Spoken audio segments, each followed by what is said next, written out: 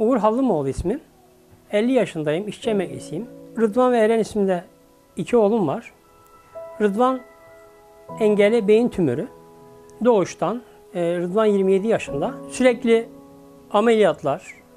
E, 98 yılında, 2006 yılında iki tane beyin tümörü ameliyatı.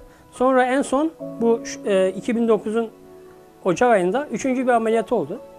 Rıdvan'ın kafasında e, su topladığı için hidrosefali diyorlar tıp teriminde. İki tane şant var.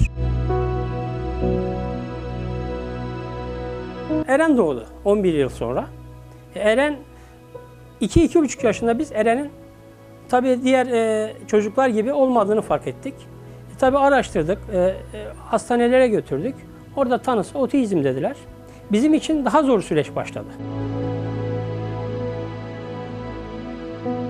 Eren de şu an 15 yaşında. Tanısı otizm.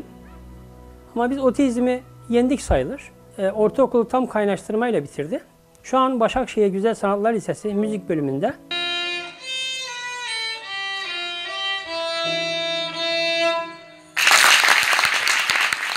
Rahmetli eşim Sevgi Hanım'ı 2016'nın Temmuz'unda kaybettim ben.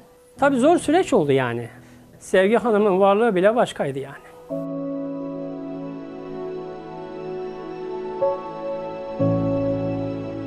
Kaybettikten sonra zor oldu.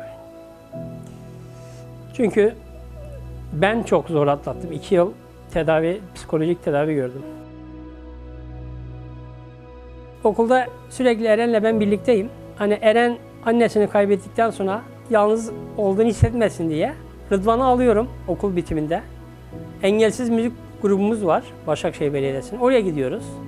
Orada güzel e, eğitimlerini görüyorlar, müzik eğitimlerini. E bunların içinde otizmli var, Down sendromlu var, hafif mentaller var. Yani biz bir buçuk yılı geçti bu olay. E, Yasin Başkan'a çok teşekkür ediyoruz. Yani Yasin Başkan bu konularda çok hassas. Gençler konusunda, engelliler konusunda.